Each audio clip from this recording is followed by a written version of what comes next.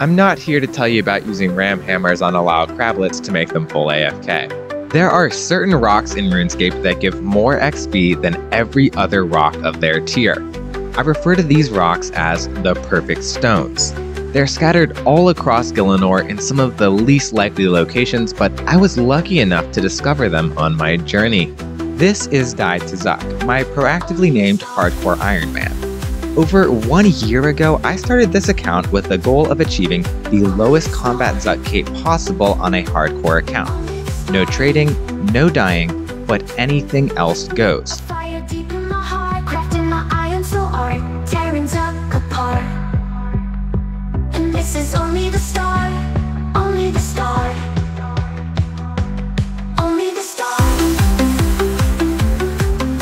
Today, we continue the journey with mining and smithing.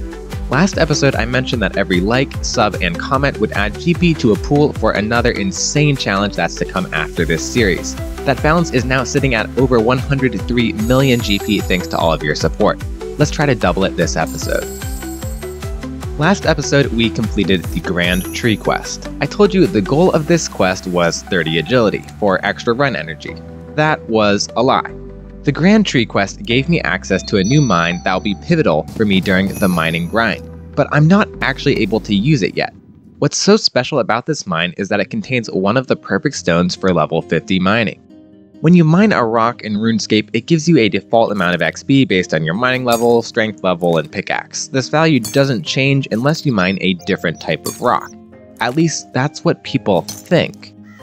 There's a mechanic called rock opportunities that can change this equation.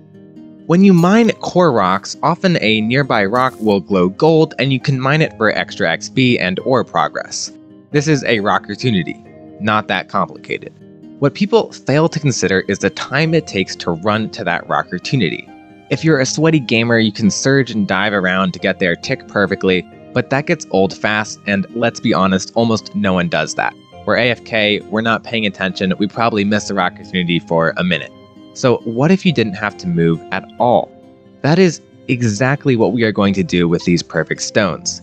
Instead of needing to move around for rock opportunities, we'll stay in exactly the same spot so all you need to do is click a rock right next to you whenever you look back at your screen to get a big XP buff.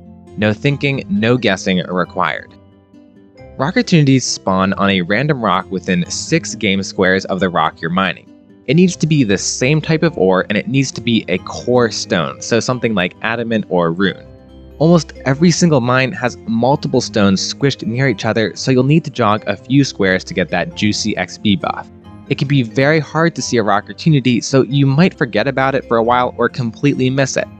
If you are having trouble seeing rock opportunities, there's a few things you can do.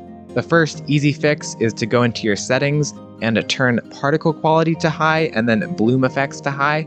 If your computer can't handle that, another option is to go to your skybox filters and turn on either the dusk or nightstone filters. But what if you just don't need to find it? If you can find two rocks next to each other that are over six tiles away from every other rock of the same type, you don't need to worry about finding a rock opportunity ever again. But there's one problem. Unless you're crazy enough to mine every stone in the game, which, I mean, surely no one would be insane enough to do, right? I'm going to be mining every single mineable rock in RuneScape. You probably haven't tested out many mine locations. You just go to wherever you know, whatever's close to a bank. I was exactly the same until one year ago when a special event changed everything about early game mining. Earlier this episode, I told you I completed the Grand Tree quest to unlock a mid level mining site, not for the Agility XP. Well, that was also a lie. I actually did complete the quest for 30 agility, but not for run energy. At the same time, there was a special event going on in RuneScape, the Golden Cape Hunt, possibly one of the most broken pieces of content for brand new Iron Men. If you managed to gather 8 out of the 11 possible shards for the event, it rewarded you with a worthless golden cape and, more importantly, a 28 day long buff. This buff gave a 5% chance to reduce damage taken by 99%. I did not abuse this for the challenge, and it gave you unlimited porter effects for the entire 28 days, even on an Iron Man. I abused this extremely heavily for the month, specifically for mining. Getting this buff was not easy. I was able to AFK at the beach to get the Gathering, Artisan, and Support shards, but that was only 3 out of the 8 shards. I still needed 5 more and I couldn't get the Combat shard as I'm avoiding as much Combat XP as possible. I also couldn't buy a shard for 25 million GP and I am not a Premier member on this account. That means I need to get the Quest, Clue, and Boss shards. The Boss shard was actually super easy to get. All you need to do was get Marks of War, so I camped Croesus for a few hours and got the shard. For the quest shard, I needed to complete the new fort quest through Unwelcome Guests. Unfortunately, a lot of my early footage here on this account actually corrupted, but I almost died while starting off the new Foundations quest. When you first enter the area, there are a bunch of zombies you need to clear, and they piled me while I was stuck on a RuneScape loading screen.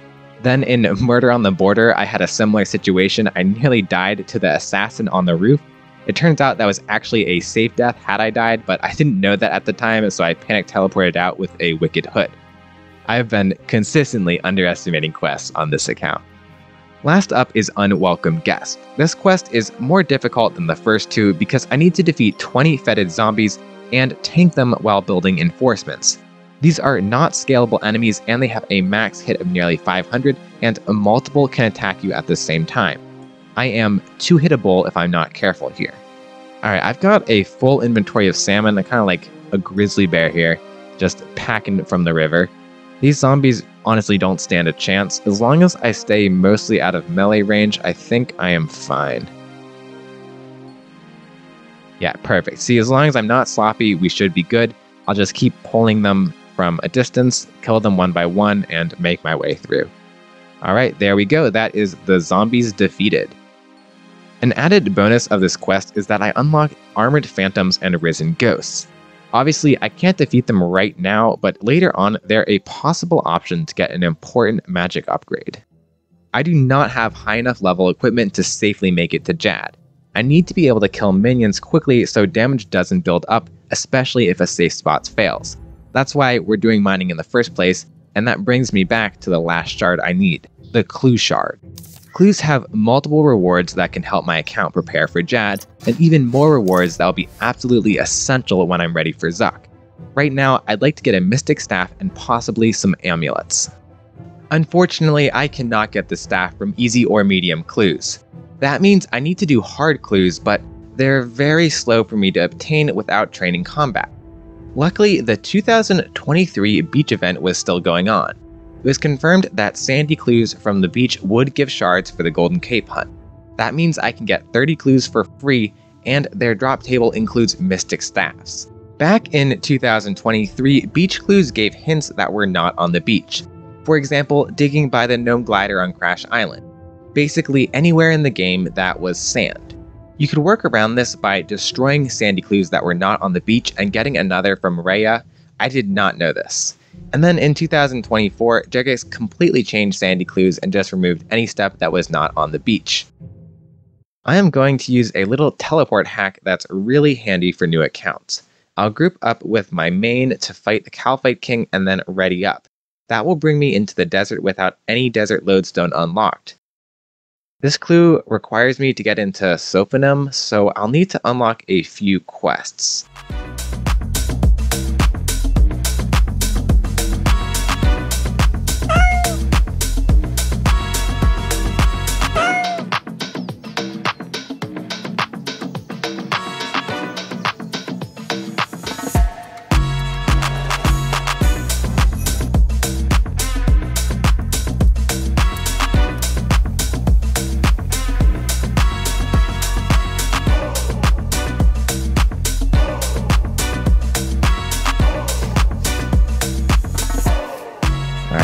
Thurgo is up next.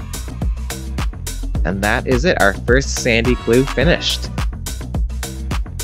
This next clue requires me to steal the top of the Agility Pyramid.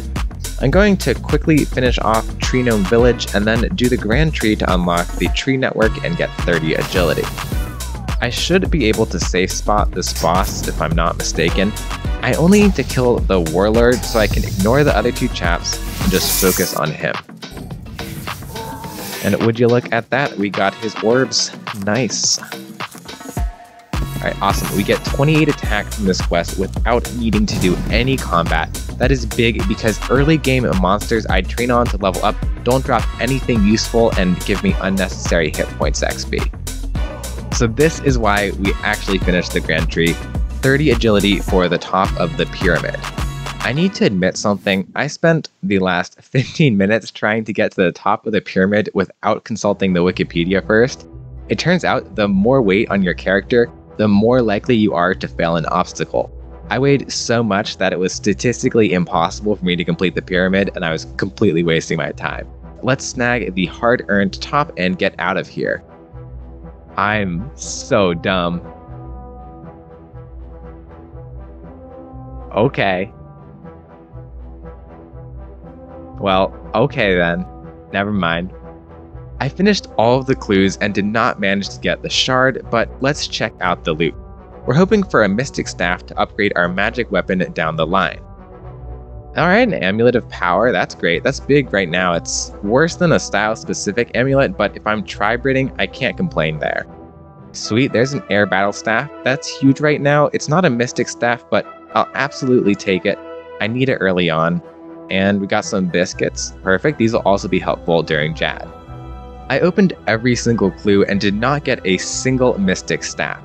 Either the wiki's wrong, I'm very unlucky, or you need at least 40 magic to unlock the drop. There are a number of drop tables in the game that are dependent on your levels, so maybe that's the case with Sandy Clues. I only have one day left to get the clue shard, and we just discovered that the shard was actually bugged when I did all of my clue steps. It was impossible to obtain, and I don't have enough time to finish it off. Luckily, the Reddit and Twitter crews came out strong, and Jagex brought the event back for an extra week. I don't have Sandy Clues anymore, but I can farm Easy Clues from HAM members to quickly get this shard. The downside with Easy Clues is I can't do a lot of steps that require me to equip gear that you need defense levels for. This will be a very long grind. This step has to be up there with my least favorite, you need to run so far to get to Galahad's house. It is an iconic run though, not gonna lie. Beautiful, that's a casket. Oh, no way, you got the same clue again? That's so good, man. No way! Yes, that's the shard. Let's go. We are done with easy clues. Let's get the cape buff. Oh my goodness, I'm... Yes, that is so good. That is so good. Unlimited porters are huge. We can finally start mining. I need to level smithing and mining together in order to get pickaxe upgrades along the way and create gear. The reason we're training mining is to get some weapons that will help out at Jad, and then later down the line unlock invention with 80 smithing. The trick with mining is to complete the dig site quest and skip the first 30 levels. Likewise, finish the knight's sword to skip up to 30 smithing. That allows me to make a mithril pickaxe and begin the perfect stone grind. I have found exactly six perfect stone locations in all of RuneScape. These are rocks that are right next to each other and always pass a rock opportunity back and forth without sending it to another stone. The first perfect stone we're going to go for is the Mithril Perfect Stone. It's located in the basement of the Grand Tree. These are the only two mithril rocks that work. You'll see how they're far enough away from the other rocks that the rock opportunity stays in place no matter what I do. I'm going to camp out here until I get enough to get up to level 40 mining. Now at level 40 mining, we're heading to East Varrock Mine for the perfect adamant stones. I could not find a perfect coal or luminite stone, but maybe someone can correct me and find one in the comments. The adamant location is great even if you don't have unlimited porters because it's right by the archaeology book teleport, which also has a bank if you don't have War's Retreat yet. This is slightly faster than using the lodestone network and running. At level 50, we're going to head back to the Grand Tree Mine, this time for Runet. There are two rocks in the southwest corner that are perfect stones. I spent a lot of time here because I may want rune arrowheads in the future to train fletching depending on how much GP I have. With the fletching rework coming up, I'm concerned that the stack of arrowheads I made may become completely worthless soon, but it was a good plan a year ago. Finally, we are at level 60 mining and it's time to find the next two perfect stones. This episode, we'll be mispronouncing Drakolith and Orichalcum ore, which is what we're going to use for 60 to 70 mining and smithing. None of the easy to reach ore locations had perfect stones for this, so I had to look elsewhere. enter Anachronia. There is a remote mine in the very northeast corner of Anachronia that has a collection of both ore that I need. There's one problem. The mine is guarded by dinosaurs, and they can one hit me if I make a mistake. I still get attacked by the King Scorpion in the Dwarven Mine because my combat is so low. I looked into their aggression, and it turns out I won't get attacked unless I click on them first, which I can disable. We should be good. The Drakolith Perfect Stone is a little bit different than all the others. We'll use the two rocks in the southwest corner of the mine, but we'll only mine one of them. If you mine the west rock, it can send a rock opportunity to the Drakolith Stone north of us. However, the southernmost rock will only ever send a rock opportunity to the rock next to us. What we'll do is click on the Drakolith rock to our west when a rock opportunity spawns and then click back onto the south rock to continue AFK mining. That way, we never need to run out of the spot. The Orichalcite rock is more straightforward. Just like the other perfect stones, the two rocks in the northeast corner can be swapped between without issue and always send a rock opportunity back and forth. A level 60 sword should be more than enough for pre-jad waves, so I can stop mining for now. I did look into perfect stones for every other rock in the game, so you have all that information. Unfortunately, everything after Orichalcum does not have a perfect stone. There's one exception. The new Primal Ores have exactly one perfect stone available. There are two Bathus rocks in the southeast of Daemonheim that are all alone. If you mine them normally, your character will run back and forth between them, but if you actively choose to walk in the middle of the rocks, you can mine them like the other perfect stones. I did not find any other perfect stones for the Primal Ores. Alright, that is enough mining for me today. It's time to focus on Jad. I'm getting closer, but there is still one essential quest I need to complete before I can take him on without prayer and poison. The succession quest unlocks the dive ability for me. There's one big problem. I need to slay 144 demons in the wilderness to begin the quest. That is a lot of hit points XP and a lot of risk for my low level account. I believe there is one demon in particular who is perfect for this mission. When I began this account, Necromancy was not in the game. That has since changed. I will not be killing everything with Necromancy, but I told you there was certain tech that no one has tried at Jad before. Next episode, we unlock it on to Zuk.